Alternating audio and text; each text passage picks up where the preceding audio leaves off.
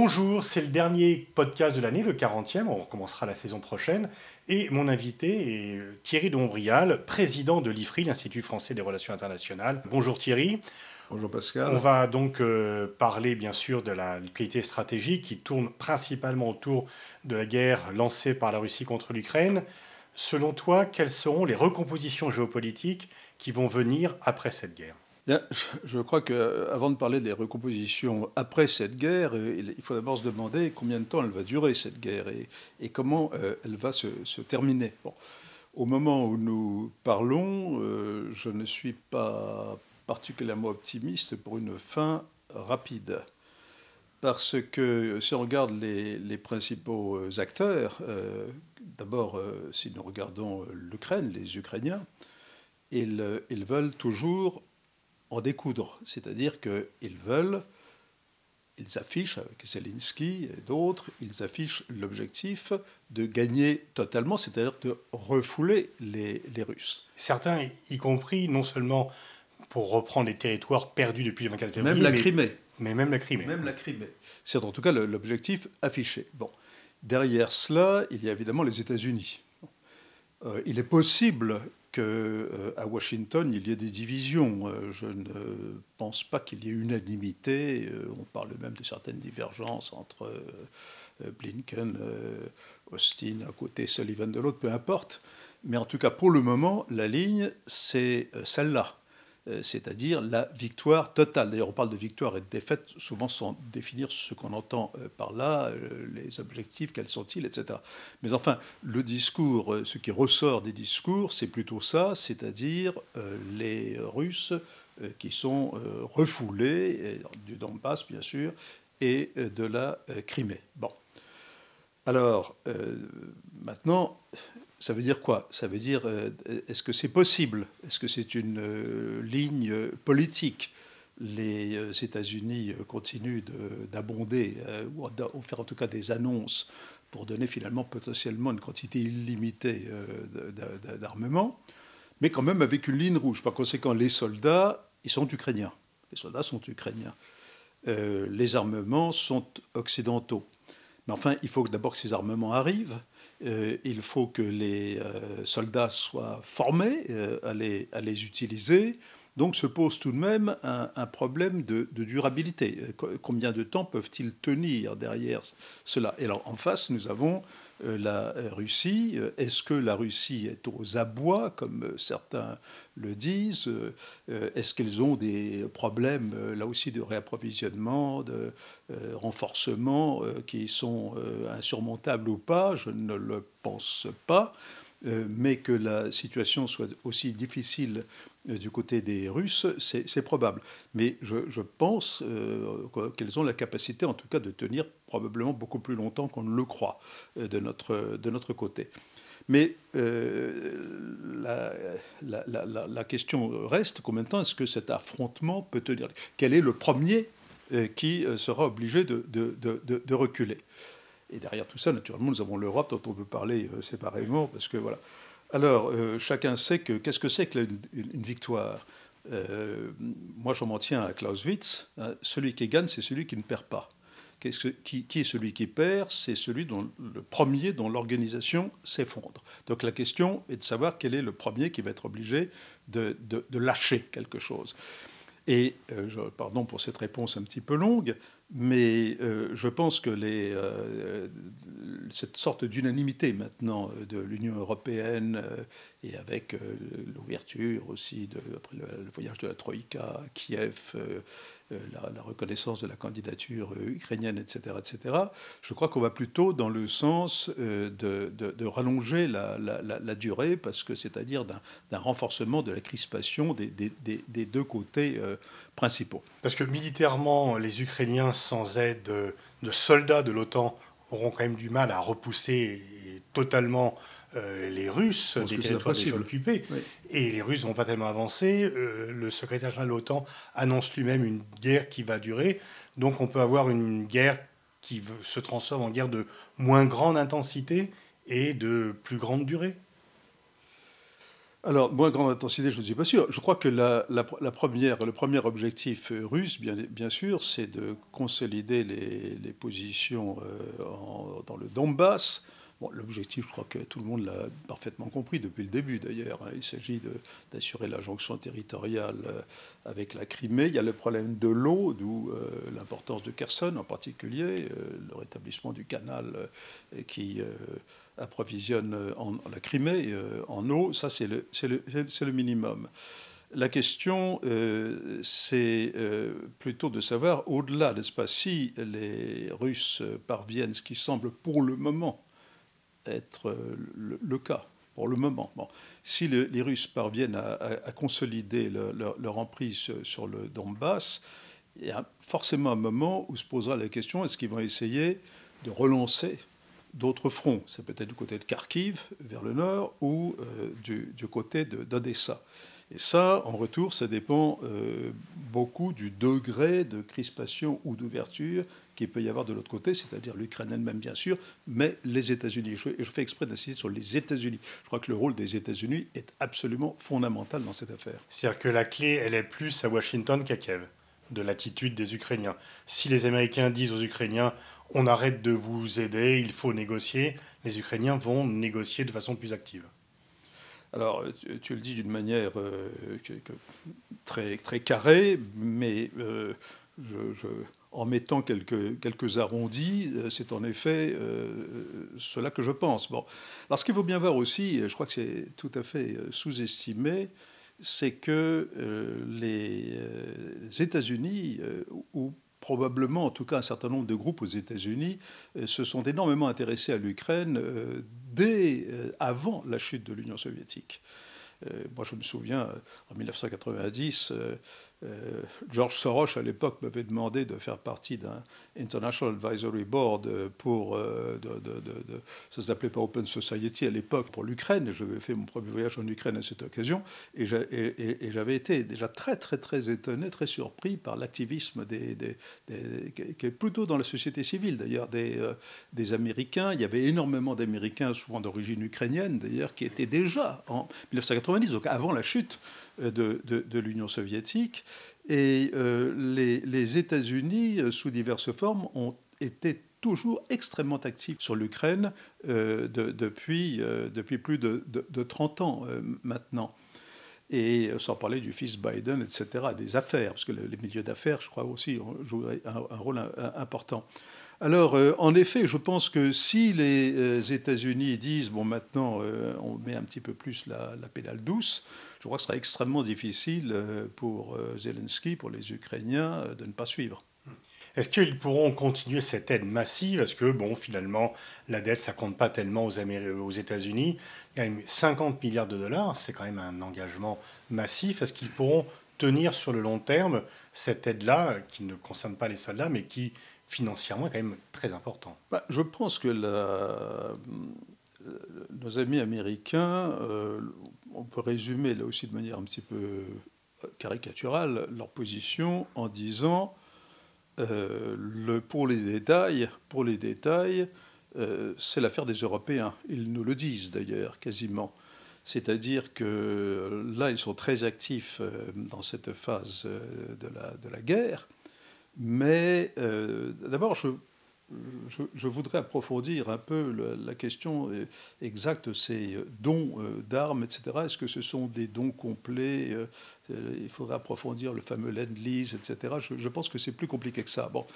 Mais enfin, euh, à un certain moment, il, va falloir reconstruire.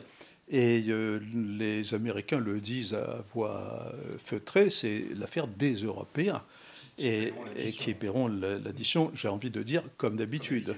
Par conséquent, le, le, le, problème, c'est euh, pour le moment avoir une politique qui affaiblit euh, effectivement la Russie. Jusqu'où veulent-ils affaiblir la Russie? C'est la question fondamentale. Et puis, euh, après, ce sera l'affaire des Européens.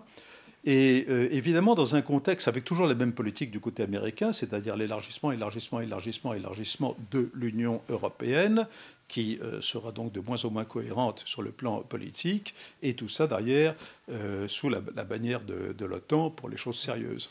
Alors à ce stade, les trois euh, principaux chefs d'État et gouvernement de l'Union européenne ont fait un déplacement la semaine dernière à Kiev. La Commission s'est déclarée euh, favorable euh, à l'ouverture de la candidature. Est-ce que tout ceci n'est pas un peu précipité? Est-ce qu'il n'y a pas une sorte d'obligation morale sans réflexion stratégique sur le fait d'ouvrir aussi rapidement la candidature ukrainienne? Alors, ce qui euh, me frappe euh, derrière tout ça, c'est que euh, on dirait que le socle de la pensée politique au niveau international, au niveau européen, parce que les États-Unis, c'est plus compliqué que ça, et ils sont loin quand même. Les, États-Unis, d'ailleurs, euh, au niveau de la vie quotidienne, l'Ukraine ne les occupe pas particulièrement. Euh, Ce n'est pas, pas le sujet dominant à l'heure actuelle, vu des États-Unis. En Europe, ça l'est.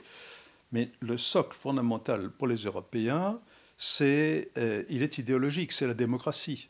C'est-à-dire que tout ce qui est avec l'idée qu'on va pouvoir on va, pouvoir étendre la, démocratie est bon. C'est un petit peu le bien contre le mal, les bons gouvernements contre les mauvais gouvernements, etc. Bon.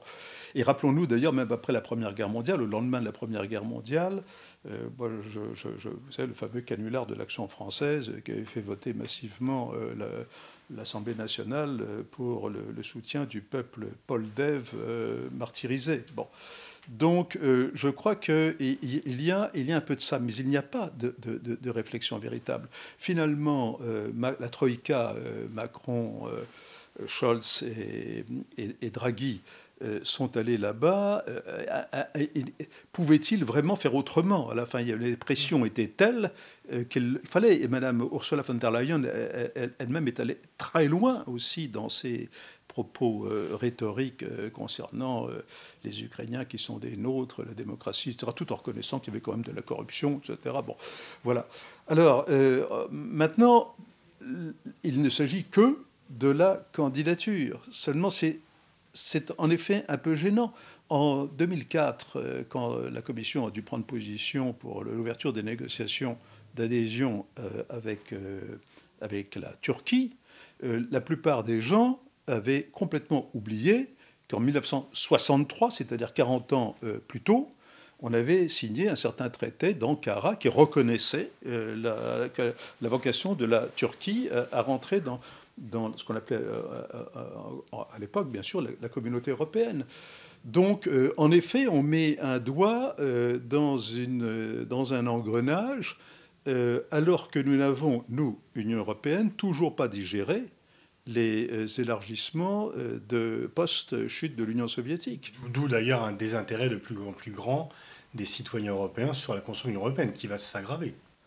Oui, parce que euh, sous l'effet de, sous l'effet de d'un double mouvement, c'est-à-dire d'un côté le fait qu'on a l'impression, les citoyens ont l'impression que la, Commission, que Bruxelles euh, s'occupe de beaucoup trop de choses dont elle ne devrait pas s'occuper, et puis de l'autre, on ne voit plus très très bien géographiquement euh, ce que euh, tout cela signifie, sans parler des autres qui se bousculent au portillon et qui disent si on est serbe, albanais ou que sais-je, ben, et Macédoine, macédonien, et pourquoi pas nous? Donc euh, je, pense que le, on, est, assez mal parti au, niveau, au niveau européen et euh, ça ne va certainement pas euh, s'arranger dans les semaines, mois et probablement. Mais on a l'impression, y compris donc des un président volontaire comme Macron suit quelque chose d'une voie qui semble un peu automatique sans que l'on puisse, euh, il n'y a pas de marge de manœuvre. On a le sentiment que voilà, il n'y a, qu'une solution, c'est de favoriser l'Ukraine étant victime euh, d'une guerre. On doit lui accorder des facilités qu'on n'a pas accordées à l'autre pays. Je crois que pour dire la même chose euh, sous une forme un peu différente, qu'il s'agisse que si je regarde les Européens en général, nous n'avons pas de stratégie. Il n'y a pas de stratégie, il n'y a pas de vision stratégique. Et euh, c'est euh, ceux qui ont probablement une vision stratégique, ce sont justement les États-Unis. Non pas par amour euh, de, la, de la démocratie, parce que les Américains, nous le savons tous, sont, euh, ont, l'amour très, très flexible sur ces questions-là. Le, retrait de, les conditions du retrait d'Afghanistan, du coup, ont été oubliées par, par la guerre d'Ukraine. Mais enfin, ce n'est pas très glorieux du point de vue moral, en particulier. Mais contrairement à ce que beaucoup de gens ont dit, c'était probablement vrai au début. D'ailleurs, on a dit l'Ukraine, ça distrait au sens fondamental du euh, verbe distraire, ça distrait de, l'objectif principal qui est la Chine. Oui.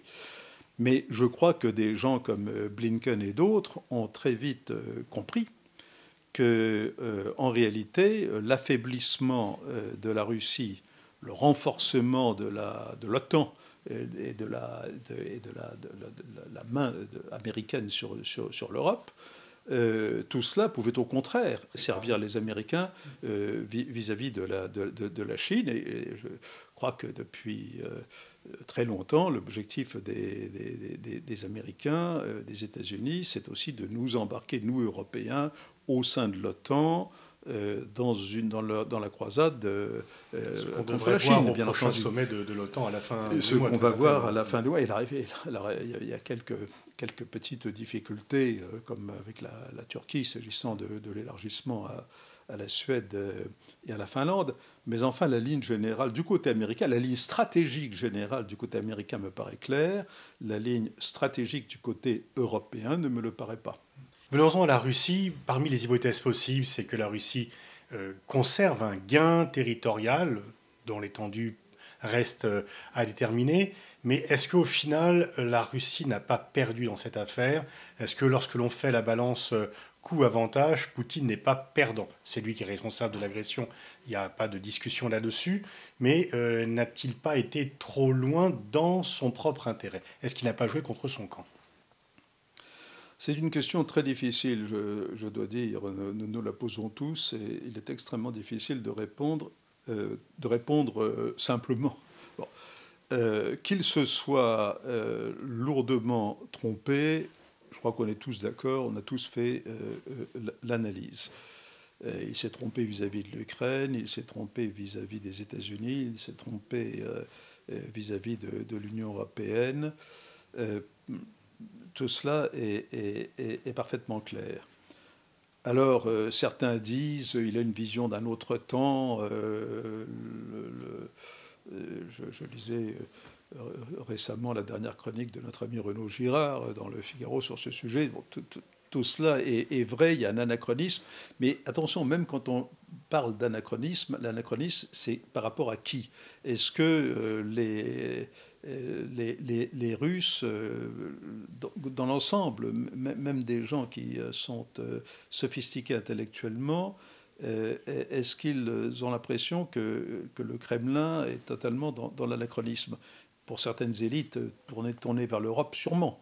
Mais dans l'ensemble, je n'en suis pas si sûr que cela. C'est l'histoire qui, en jugera. Est-ce que les territoires n'ont plus d'importance?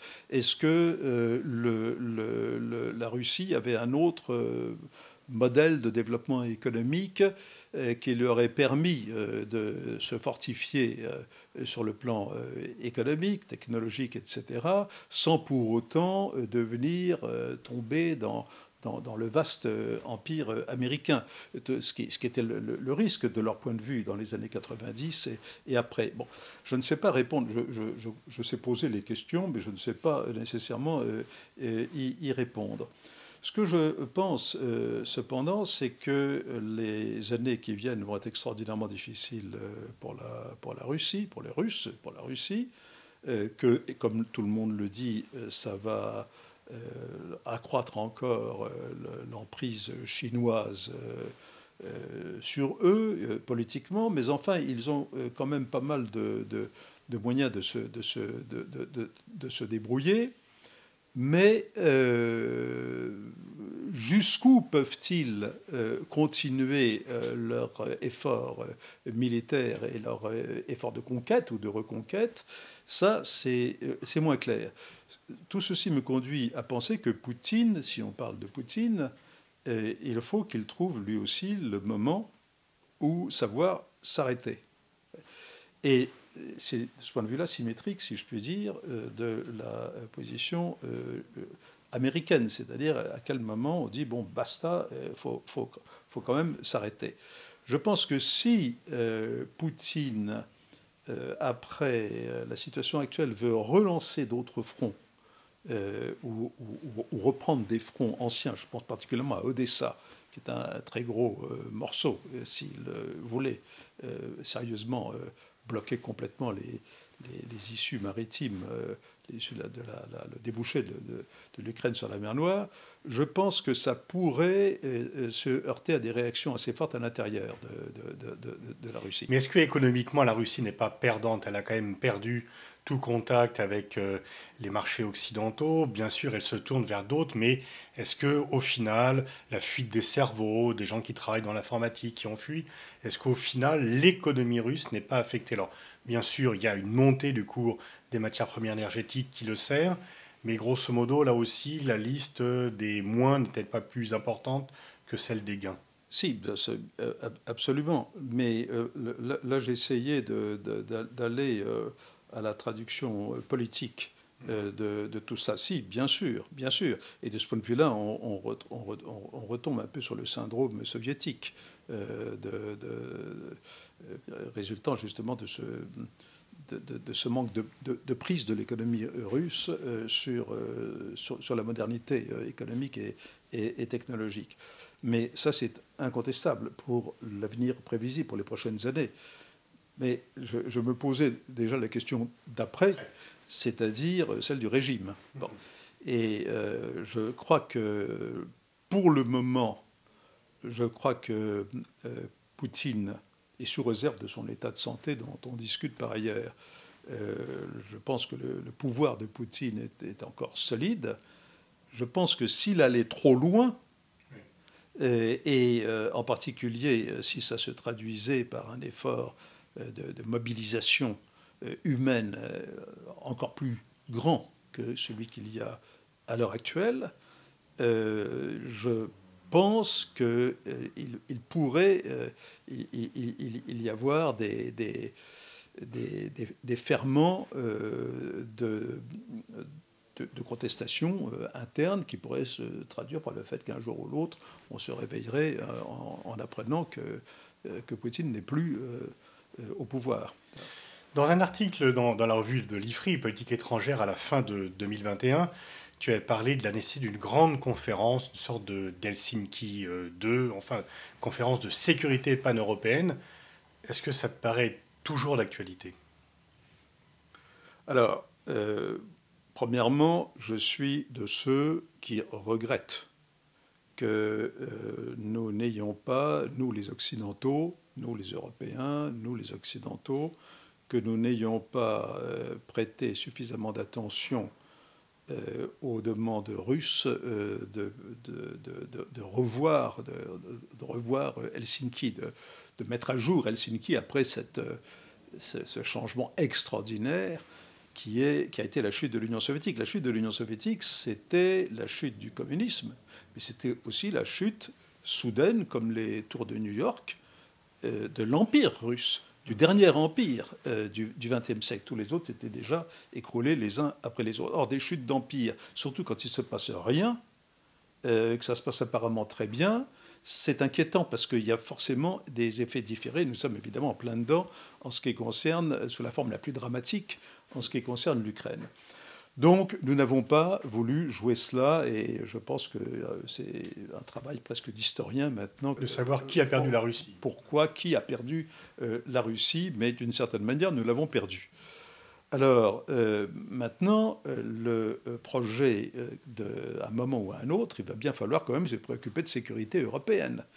Et le, le, scénario, un scénario possible, c'est euh, qui, euh, peut-être dans les mois qui viennent, pas tout de suite, je pense, c'est que constatant à un certain moment des deux côtés que l'on ne peut pas poursuivre les, hostilités comme elles se déroulent à l'heure actuelle, eh bien, on proclame une sorte de cessez-le-feu et qu'on ouvre à ce moment-là une sorte de conférence internationale sans naturellement que les Occidentaux reconnaissent l'annexion, les annexions territoriales, et sans que les Russes reconnaissent la, permanence de la situation ukrainienne dans son ensemble, etc., mais qu'on ouvre, qu'on commence des négociations probablement euh, multilatérales, et négociations qui pourraient euh, euh, durer d'ailleurs assez longtemps. Et à ce moment-là, ce serait une sorte de, reprise potentiellement d'un projet de, type marche lente, marche vers une architecture de sécurité européenne. Pour dire que ces données, de nombreux pays de l'Union européenne ont refusé il y a un an de faire un simple sommet avec Poutine disant que ça serait lui donner une prime pour son comportement après la guerre, euh, est-ce que les blocages pas encore, ne sont pas encore plus grands? Pour le moment, certainement. C'est pour ça que je pense que ça n'est pas euh, pour, euh, pour tout de suite. Mais il y a aussi un autre point qui est très important, je crois, dans le domaine des relations internationales, des des gens comme nous qui avons un certain nombre de décennies euh, derrière nous euh, devraient le comprendre en tout cas, euh, c'est qu'il ne faut pas trop personnaliser les, les, relations. Les relations personnelles, c'est très important dans la relation internationale, bien entendu. Mais parler toujours de Poutine euh, comme si euh, y avait euh, les bons qui étaient tous les Russes sauf Poutine et Poutine qui était le mauvais, etc., c'est totalement caricatural. Donc, d'autre part, j'ai toujours été, pour ce qui me concerne, un peu méfiant de, l'expression parler avec. Le problème, c'est dans, une conférence internationale entre les, universitaires, etc., on parle. Nous deux, nous sommes en train de parler. Euh, en politique internationale, il s'agit de négocier. On, parle pour agir. Euh, ce n'est pas euh, tout à fait la même chose. Donc, on sera évidemment obligé, à un moment donné, de, négocier. Alors, parler, c'est important dans la mesure où il faut comprendre exactement, bien comprendre ce que, veulent les autres, quels sont les, ce qu'ils ont en tête, la manière dont ils raisonnent, quels sont leurs intérêts fondamentaux qu'on le veuille ou non, quoi qu'on en pense, nous, occidentaux, le fait est que pour la Russie, Poutine actuellement, la question ukrainienne était une question, est une question d'intérêt vital pour eux. C'est comme ça que c'est perçu. C'est pas à nous d'en juger, et à nous de comprendre comment ils raisonnent. C'est ça qu'il faut bien comprendre. Merci euh, Thierry de Montbrial, c'est une belle façon de terminer cette saison de, de podcast. Merci pour ce vaste tour d'horizon. Merci Pascal.